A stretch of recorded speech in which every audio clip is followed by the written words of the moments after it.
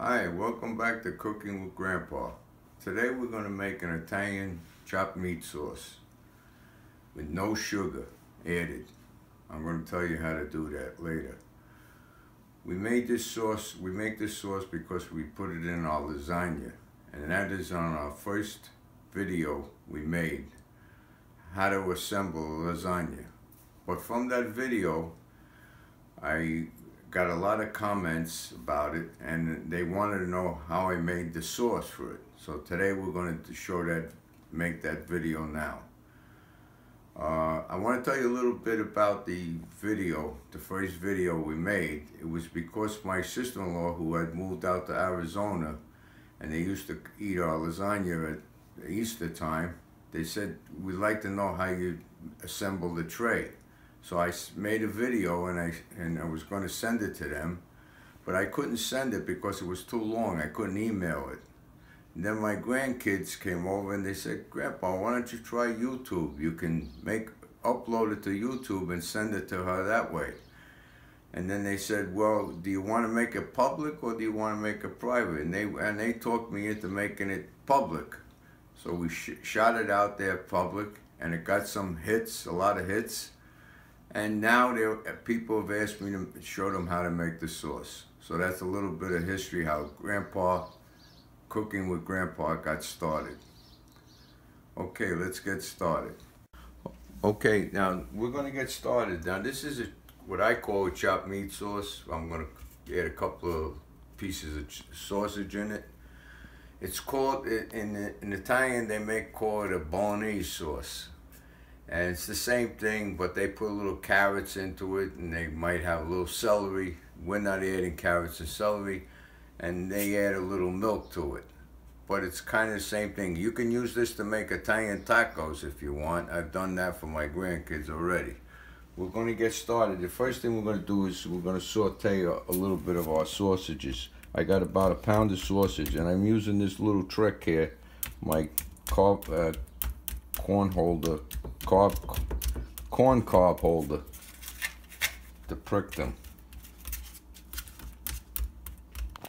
You can use a fork, whatever you want, but I found this little thing pretty good. Okay, we're gonna heat up, uh, I just coated that pan just a little bit with olive oil.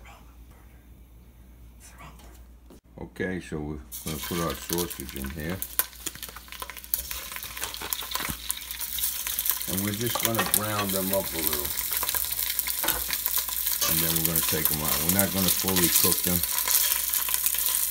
And I'll get back to you when these are brown. Then we'll show you the next procedure. Okay, so we got them kind of browned up a little bit. We're going to just take them out of here. And let them drain a bit.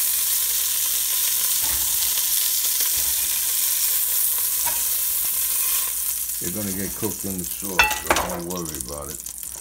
I wanna get rid of a little bit of this oil, grease. But we wanna keep that brown stuff in there. That's what's gonna give us the flavor. And now I'm gonna uh, put my chopped meat in. And I'm gonna brown this chopped meat.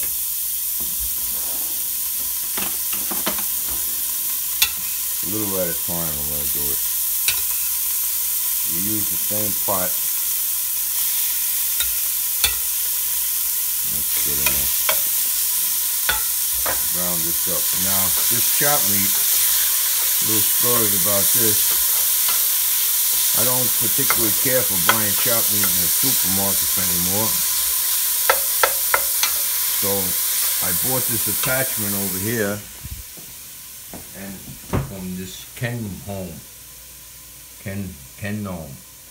They sell a they made an attachment for the KitchenAid mixer, and I ground that up myself, and I make my own chop meat. And I bought a chuck roast, and you can't get better than that. And now I have my good chop meat. You're going to see there's not a lot of oil, uh, water coming out of this here, not like when you buy it in the store. They load it up with water, so you got buy three pounds and you got end up with two pounds of meat. We'll get back to you on this now. Okay, this is all browned up, and I'm telling you, it's really, I'm really happy with this here uh, grinder that I purchased. It's really worked out fine. And uh, I'm going to put the link on in the description.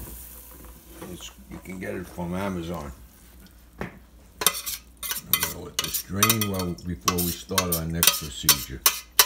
Okay, so we'll get back to you with that in a few minutes.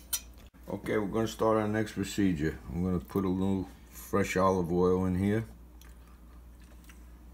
And we're going to place our onion in here. This is about, in the description you'll have all the uh, ingredients and how much. But with, as with cooking, you can always alter things a little bit more than baking. I start this here sauteing this onion about five minutes, a good five minutes before I put six minutes before I start the uh, garlic because the garlic kind of burns up quick, kind of quick and I want to get this nice and brown because this is one of the secrets that people they have to add sugar is because they don't they don't brown the onion enough You brown that onion you get all the sweetness from the onion and we'll get back to you when we put in our next entry okay we got this browned up a little bit about six minutes. Now I'm to put in my garlic and brown that up a little bit. Now this is one of the secrets of not adding the sugar. Is making this kind of nice and brown. And that gets all the sweetness from the onion right out. And I'll show you another trick in a few minutes. Let's get this all browned up. Okay, so here you go. This is, we want this nice and brown. Now we're going to start adding our tomato products. I know everybody has a problem getting the tomato paste out of the paste can. But this is what I do. I open it up on both sides. Here's a little trick. And I push it through like this. Uh, if I had opened that properly, it would come through.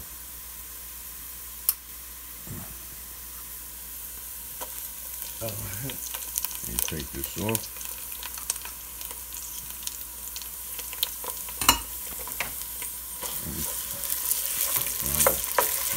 soften this up a little bit.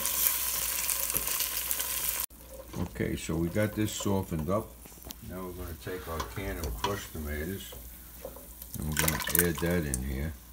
Now here's the other little secret. I got about 12 ounces of water here. I'm going to put this in this can and clean it up with this water. Okay, we added our crushed tomatoes. Now here's the thing. I cleaned out this can with 12 ounces, of about 12 ounces of water. I'm going to add this to it. Now, this is one of the reasons why people have to add sugar. Is because the sauce, they cook it without any water. And it goes down and it concentrates and it gets stronger and stronger and becomes too acidy. I'm putting this water in here. By the time we cook this meat for an hour in this sauce, if you're making a sauce that's got to cook about an hour, this water will be gone and you'll be back to the original tomatoes. So don't worry about it. Now we're going to bring this up to a boil and uh, then we'll add our meat to it. Okay, you see our sauce is came back up to a boil. And you notice we never cleaned out anything out of the pot because we want all them burnt up flavors to be in the sauce. Now we're gonna add, I, in the meantime, what I did was I cut up about four links of those sausages. And I'm putting this in. And I'm gonna cook this in similar size to the ground chop meat. And I'm gonna cook that in. And I'm leaving two links because I don't need them all full. And I'm going to cook that in there with the chopped meat. And you're going to cook this for about an hour. And then everything will be cooked up pretty good.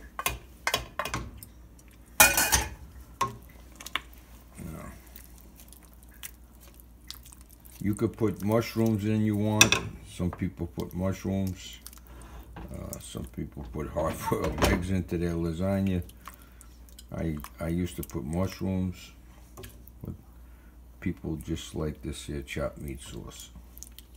Now we're going to get this up to a boil again and we're going to just, and I'm putting a little basil in here. Throw that in. And you're going to let this simmer for a good hour. Cook up that meat. And, and in the interim, every once in a while come, and I'll show you that, I'm going to kind of skim it for fat. Okay, we've gone a little over an hour and our meat is nice and tender. Goes by how much, you know, meat you put in there and how long it takes to cook. I gotta say one thing about social media. I saw a documentary the other day and how bad it is for the children sometimes, and I agree wholeheartedly with that. But I gotta thank YouTube for giving me this opportunity to spend time with my grandchildren and show them cooking and, and having a great time together doing this. But now we're going to take our sauce and we're going to shut it off and we're going to bring it over to the sink. I'm going to put some water in here and I want to put it in a, a water bath and I'm going to cool this down. I also skimmed a lot of fat off the top, but when it cools down, you'll get more and you take that off. I'm going to bring this over to the sink. You want to get this out of the danger zone, 40 to 140, as quick as possible. Down right away. And then we're going to put it in the refrigerator. And I'll show you after we cool it down. Put it in a bowl and then I'll tell you what we're gonna do with it. Okay, we're all done. I cooled it down. Only took about 20 minutes. As you can see, it's about 118. I put it in this bowl. I'm gonna put it in the refrigerator. I wanna get it down right away quick. And we're gonna use this sauce. We're not gonna make lasagna with it because we've already done that. We're gonna we're gonna make a pizza lasagna. We're gonna make a new or homemade pizza dough and we're going to use the sauce on top. We'll get back to you when we're going to do that. Probably our next video. We'll see. Okay, we're kind of all done right now. Don't forget, Cooking with Grandpa. Subscribe, hit the bell, and also comment. And hit the like sign. See you soon.